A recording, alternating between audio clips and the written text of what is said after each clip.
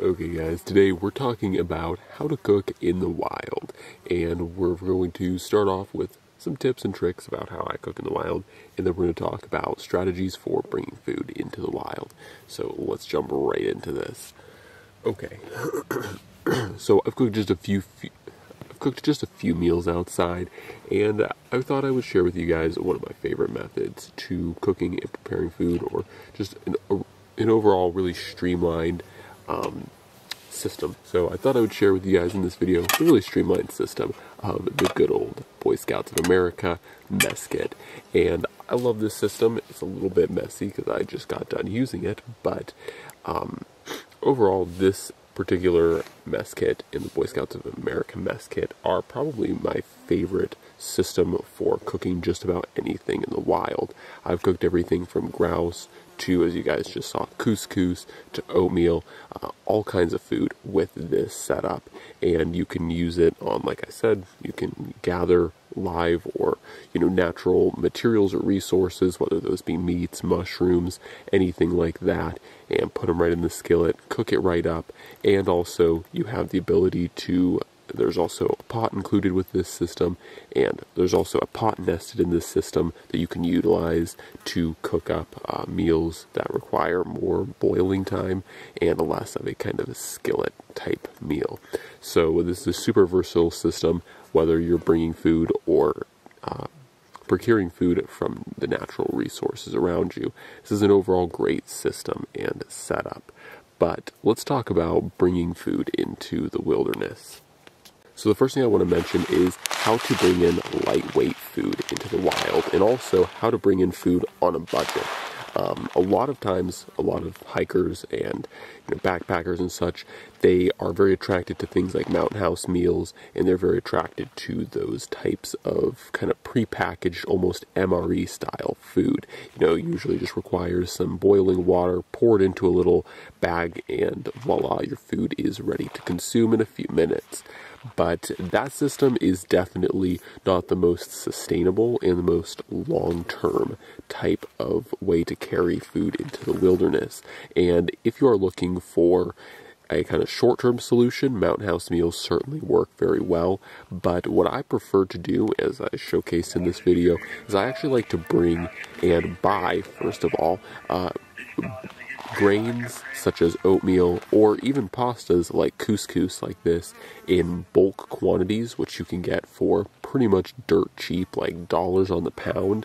Uh, if not less. I think these are actually like less than a dollar a pound. But um, don't correct me if i'm wrong on that one or correct me if i'm wrong on that one. It has been a minute since i bought this. But um, you can just get pounds and pounds of things like couscous oatmeal and other pastas and other grains.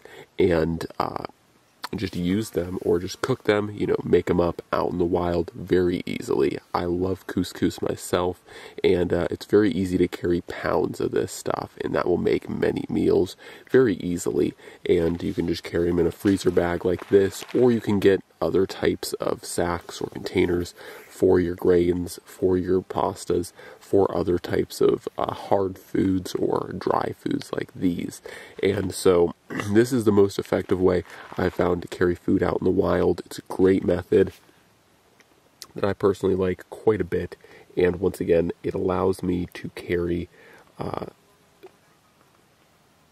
and going this route allows me to carry a lot of food within a reasonable ease. I mean, this same package full of couscous would be about the size of maybe two to three pre-packaged meals. Not to mention, once again, like I just talked about, not to mention, like I just uh, talked about, you know, you can get these for dollars on the pound, not just, you know, 10, 15 bucks per pre-made meal. Those pre-made Mountain House meals and such are actually pretty spendy. So the, this is definitely a more affordable and more convenient way to roll when it comes to eating in the wild if you are bringing your own food. Once again, this is just showing off um, couscous, but there are many different uh, types of food you can carry. Okay, so what other foods do I carry? I don't just strictly, obviously, live off of couscous. Though that would be pretty hilarious if I did, but you know, it is one of the meals that I carry. Okay, so we talked about couscous before we talked about other considerations for meals to bring in. I wanted to mention what I do for spices. Now, I personally am a big fan of spices, especially if you are harvesting natural foods. So, whether that be natural, you know, berries or mushrooms or those types of kind of vegetables, so to speak, or berries, you know, kind of the natural resources, or whether you're harvesting live animals, uh, or not so much alive, but, you know, harvesting and hunting animals, I should say, uh, spices are a really great way to go. And there's honestly, this is the way that I do it. This is a little bit chaotic. This probably could be organized a little bit better. But essentially, what I did is I color coded my different spices that I use the most. And of course, I tried my hardest with a Sharpie to write down, you know, what the actual spice is so that I know which spices are in which. And I basically just made these pre-packaged and different sizes.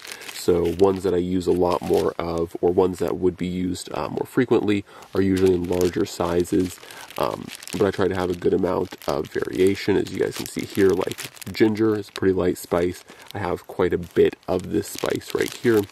And uh, there's also different ones. I think like salt is in here somewhere, and I have a pretty large container of you know just regular salt.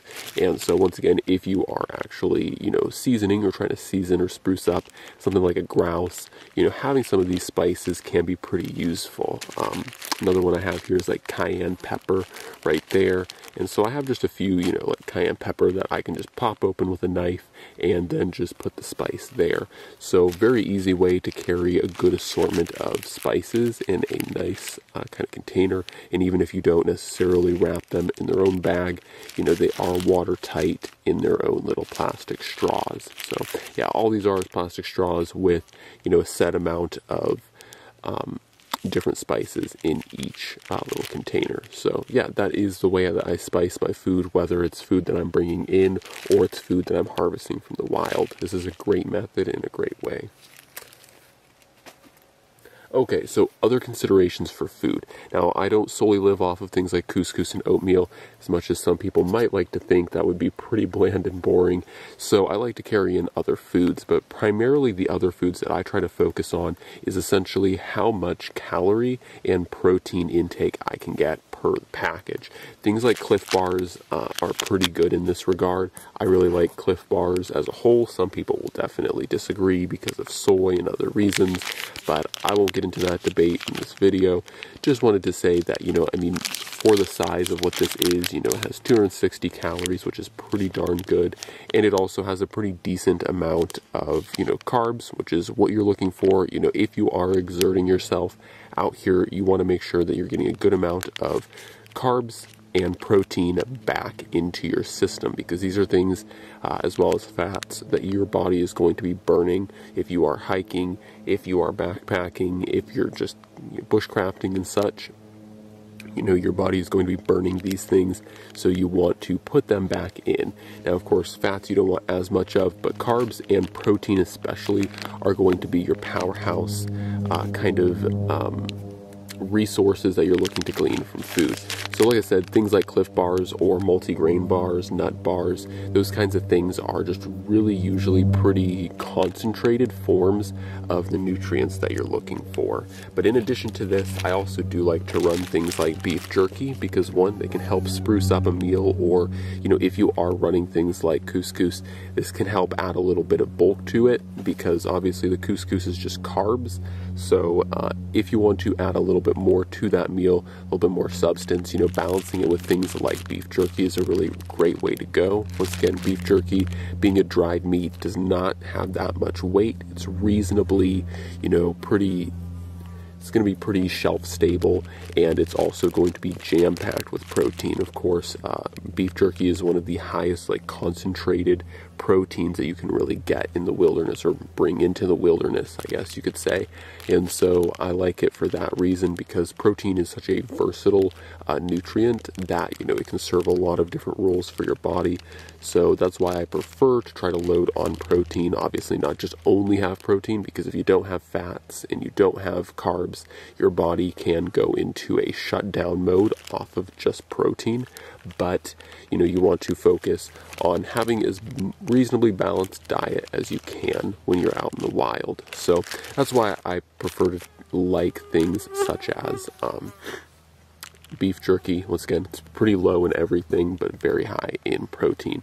And so mixing that with, you know, these kinds of energy bars for snacks and then, you know, bulking up for meals with things like oatmeal, it makes for a very pretty solid setup that you can reasonably easy pack in.